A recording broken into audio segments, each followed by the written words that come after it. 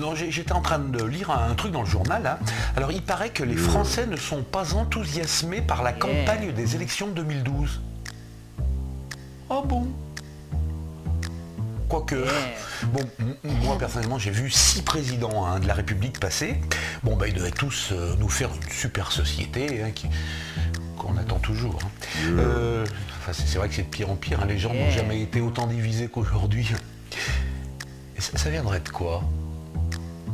Yeah. 4 millions de chômeurs, euh, la précarité qui envahit le pays, les entreprises qui les délocalisent, la répression qui augmente, les banlieues qui bouillonnent, euh, les loyers, l'immobilier qui augmente, euh, le racisme et l'intolérance euh, bah, qui s'étendent, les énergies euh, nous sont surtaxées, on pollue tous les jours un peu plus, on nous culpabilise, hein, il faut remettre la- les Français au travail. hein, dans un pays de feignants. Nos acquis sociaux, eux, fondent comme neige au soleil. Du coup, les gens n'espèrent plus et ne rêvent Yeah. plus. Et donc, ça serait pour ça que les Français ne sont pas enthousiasmés par les élections et les candidats. Ah bon? Oh, c- Ces Français, hein. il leur en faut peu pour perdre le moral quand même.